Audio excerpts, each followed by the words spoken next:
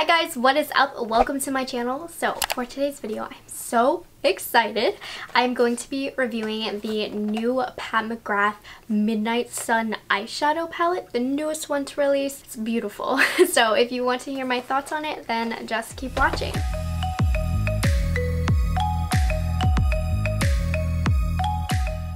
If you are new to my channel, hi, I'm Morgan and I am a Pat McGrath Labs fanatic. I purchase and review almost every product that she comes out with and I am so excited to have my hands on the new Midnight Sun palette. So major facts about this palette. It will not be available until this Friday, September 6th online at Sephora and Pat McGrath Labs. It will be $125 and this is described online as 10 richly pigmented shades and 7 next generation formulas highlight, line, and define the eyes for endless luxury and unlimited looks. Elevate your artistry with captivating coppers, bold bronzes, covetable crimsons, glowing golds, and venomous violets.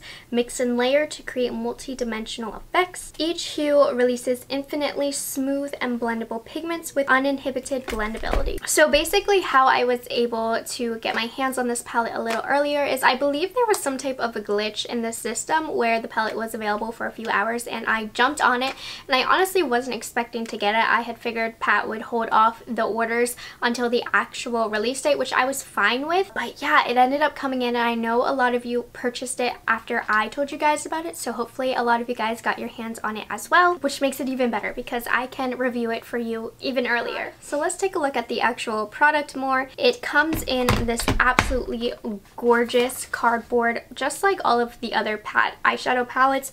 This one has a gold and purple theme to it, which is really, really pretty. This is part of what you're paying for, the luxury experience. That's why I love Pat McGrath. You're paying for that experience as well. Of course, it comes in her very heavy, luxurious packaging. It's very weighty. It just has a very simple Pat McGrath logo. And you open it up, you have a nice big beveled mirror, and then it reveals the 10 colors.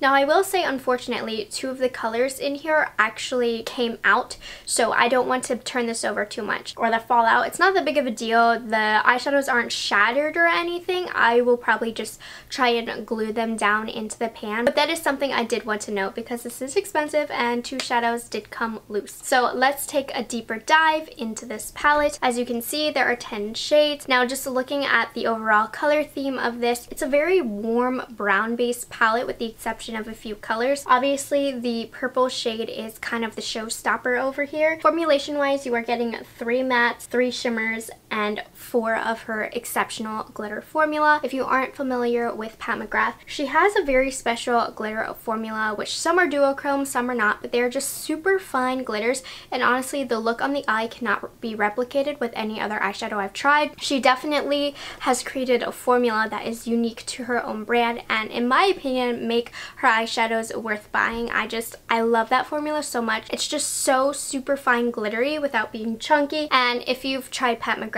you know what I'm talking about. It's one of my favorite favorite formulas ever. Her shimmer formulas, especially in this palette, are extremely buttery, pigmented, and smooth. I have found in a few palettes that there were one or two colors that weren't the best of her shimmer formula. You're getting top-notch shimmer formulas in this particular palette. And then her matte formulas I do find to be extremely easy to blend and easy to work with. And I did a look that used that super dark color and I didn't have any problems with that blending. So the tones in this palette, something really interesting to me is actually this palette can be quite neutral. It is that violet color that's kind of throwing the palette off, making you think it's brighter than it actually is. If you just cover the violet, the palette is actually quite almost earth toned. So for some of you, this might be a good thing. For some of you, this might be a bad thing. If you're a more neutral wearer, I mean, look how beautiful and earth tone that palette is. And these colors right here can really amp up the look. If you're more of a bright color and you want that fun from Pat, you're not really going to get that because it's just the purple. Honestly, without that purple, this palette can be quite warm toned and just very earthy on the eyes, which is a good and a bad thing. And even if you cover these four, I mean, look at that. If you ask me, that's really nothing special. So my initial reaction when I first saw the palette online was I was extremely excited. I thought it was beautiful because I love purples and that purple gave it that wow factor for me and I was like, oh my gosh, I love it. And I have to be honest, when I opened it up, I was a little bit underwhelmed. It just wasn't what I was expecting. It's much more neutral based and the majority of the colors in this palette can be easily duped, which is slightly disappointing to me. But like I said, when it comes to Pat, you're also putting your money into the experience and owning such a luxurious product, which, you know, gives me joy. So let's talk about the colors individually now, kind of formulation wise, what worked for me, what I really liked, and what I didn't like so much. The three mattes in here, I will say, are absolutely lovely. They blended beautifully. They're very pigmented. This brown black right here was quite easy to work with. I think these are a really nice range of colors. I wish maybe like an eggplant color would have been nice in here to kind of pair well with the violet shade. But other than that, I feel like the mattes are pretty well balanced with the rest of the palette. A very unique shade in here is this olive color. It's a very, very deep olive. It looks much more olive on the eye than it does in the pan. So expect much more green to come through when you actually put this on and it's beautiful. The quality of these are stunning. I think this color and the champagne color are very easily dupable, but the quality is phenomenal on them. Like this shade, I was extremely impressed with how shiny and pigmented it did apply to my lid. Now the four shades over here, I will say there's really only two shades that I would consider to be glitter packed and that's this shade and this shade. This copper shade right here, I would suggest applying either wet or with a glitter glue because I don't know if you can see, but it is a little bit more sheer and chunky, which isn't necessarily what most of Pat's eyeshadows are like in this formula, but honestly, all over the eye, it is gorgeous, and I really think it's a beautiful layering color, and I think this shade is very, very unique. It's like a gray-based silver, but it doesn't have much of a pigmented base to it, so it's a beautiful lid topper. It's what I put right in my inner corner such a pretty glitter. If you're a glitter lover, you will love that shade. And these two shades have a more similar formula where they're more pigmented based and they have an even finer glitter to them where it's more so embedded in the pigment rather than the glitters being a little bit more loose in the other two.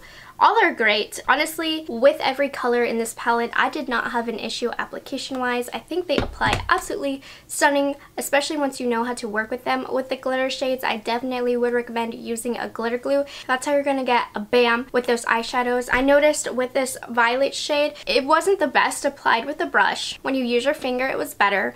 When you used it wet, it was really good. When you use it on top of a glitter glue, that's when it works its best. So it just depends kind of the effect you want on your eyes, but for me, I love the glitter, so I would definitely recommend helping it out a little bit. And there's nothing wrong with that. Basically, if you use the shadow wet or with a glitter glue, it's going to amplify any eyeshadow, and I just think that the finish of these shadows are so unique that you do want to really emphasize that unique finish. It's quite a pricey palette, but I did have zero issues with every shade, so that in itself helps that value go up because a lot of times I'll do find a few shades that aren't my favorite. Where I feel this palette isn't the best because it is dupable, it's made up for in the fact that you're getting quality. So really quickly, I want to take you into how I got this look. Uh, I would say this palette you could definitely get more warm bronzy looks with, but I definitely took some of the coolest shades in this palette to get a more cool toned lavender kind of look. So the first thing that I did was I took this lighter brown brown shade right here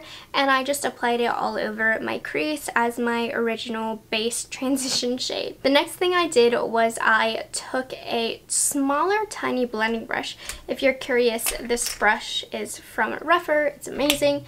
And I took some of this black brown. It's not a fully pigmented black. It's more of a brown black, gray black, just not quite black black, which is okay. And I applied that to my outer corner and I did take the time to kind of run it close to my inner corner corner so that there's a shadow throughout the whole eye in this look and make sure you blend that really well. The shade worked very well for me. And then I took the lavender kind of showstopper color from this palette.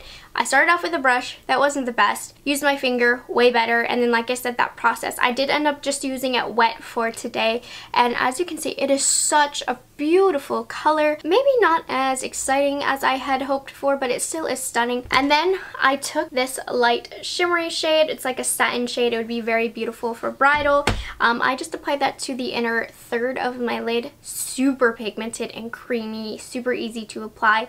Blended with that lavender shade very well. And then I took this shade, which I think is my favorite in the palette. And I used my finger just to top off that inner third color to really add a fun glitter effect to kind of go with the lavender and I really think that opens up my eyes. For my lower lash line, I did want to play with this color right here. It's more of a gold based color and I just applied that to the inner corner of my lower lash line uh, just to add a fun golden pop to the look since everything was so cool toned. And then I took the violet shade and I ran that basically along my entire lower lash line. I used a dry brush at first and then I used a wet brush to make it pop. And then last thing I did was I took that dark brown black and I just kind of smoked it in the outer corner a little bit.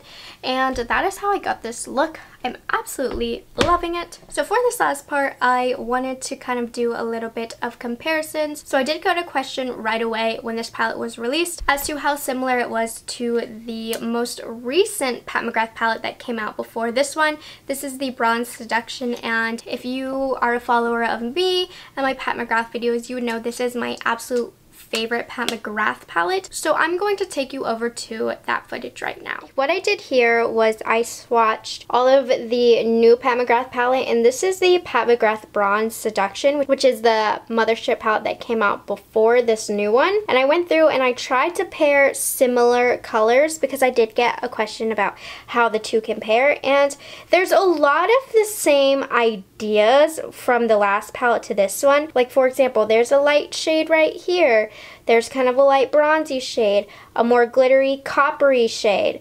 You have a deeper brown, a mid-tone brown, a really light shade. These two aren't that similar. And your darker shades. Obviously, this one's more black based, this one's more plum based, this one's more brown based, this one's more warm based, this one's more warm based, this one's more brown based. So the undertone of all the shadows, if you ask me, are completely different. There is no repeats in that way, but you are spending a lot of money. So I would say eight of these shades are comparable. They're similar, but they're definitely not dupes. So I know for me, I don't feel bad about having both in my collection. And and as you can see, this palette does also have two ones that just don't fit at all. So just so you can see, I feel like the palettes have a similar story in where to use the shades on your eyes, but the shades, in my opinion, are pretty different. So obviously there are some similarities, but I personally find them quite different. Another one I wanted to do was I wanted to compare the shade right here, the kind of star of the show if you ask me, which is right here and I wanted to compare it to Synthetica, which came out with the EYEdols collection, and I just wanted to see how they compare. Completely different. This one's more of a dark base, this one's more of a gray base,